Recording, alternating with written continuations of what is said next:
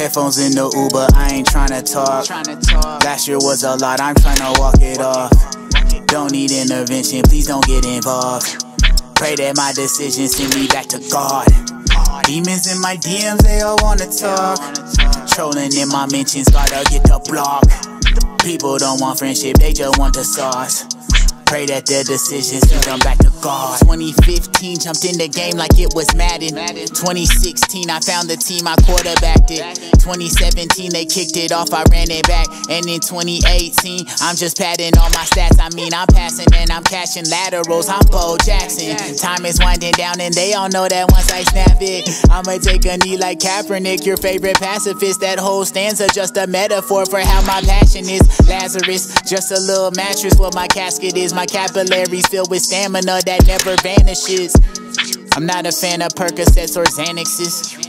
Just an activist that don't drink Actavis. I use my scars and lacerations as a basic catalyst to shape and motivate me to show you what the good data is. I just hit the mission, then I did the race. Say you getting riches, please elaborate.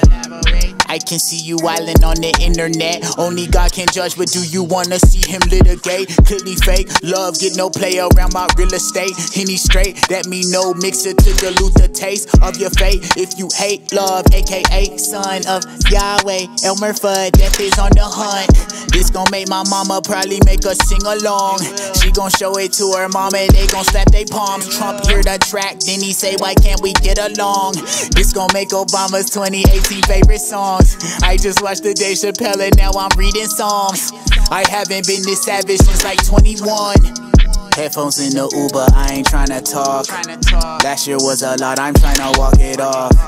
Don't need intervention, please don't get involved. Pray that my decisions send me back to God. Demons in my DMs, they all wanna talk.